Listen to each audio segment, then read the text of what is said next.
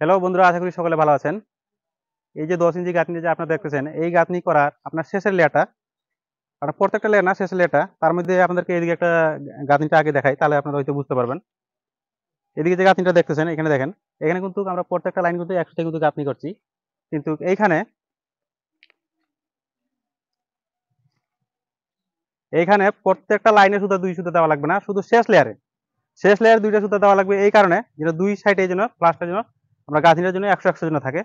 আপনি একটা জিনিস চিন্তা করেন, আমরা যখন বাইরে যখন গাঁথনিগুলো করি, তখন দেখেন এই বাইটা কিন্তু ফ্লাস হয়েছে। কিন্তু ভিতরে আমরা সুতা না দেওয়ার কারণে কিন্তু অনেক সময় কিন্তু উনিশ বিশ আঁকা বাঁকা কিন্তু হয়ে থাকে। তো শেষের লেয়ারটা যেন আঁকা বাঁকা যেন না হয়, সেই জন্য কিন্তু আপনার দুইটা সুতা দেওয়া। তো বন্ধুরা, আপনারা যখন শেষের লেয়ারটা গাঁথনিটা যখন করবেন, তখন অবশ্যই দুইটা সুতা দুই দিকে দিয়ে গাঁথনিটা করবেন। আর বিশেষ করে এখানে আরেকটা জিনিস দেখেন, সেটা ভালো একটা পয়েন্ট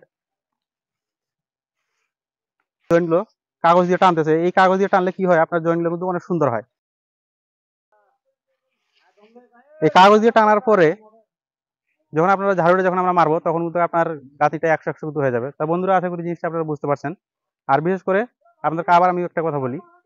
আপনার উপরের লেয়ারটা আপনারা দুই দুই দিকে সুতা দিয়ে কিন্তু গাঁথনিটা করবেন, তাহলে সবচেয়ে ভালো হবে একশো একশো হবে। তার মানে তারপরে এখানে আরেকটা বিষয় আছে। শেষের লেয়ারটা কিন্তু আমরা কিন্তু পাতালে দিয়ে থাকি। এটা কিন্তু লম্বায় আর নিচের কিন্তু পাতাইলে। আমরা কিন্তু এই লেয়ারটা যেটা দেখতেছেন, এই লম্বা এটা কিন্তু আমরা লম্বাই বলি। আর এটা যে খাটোটা দেখতেছেন, এটা কিন্তু পাতাইলে বলি।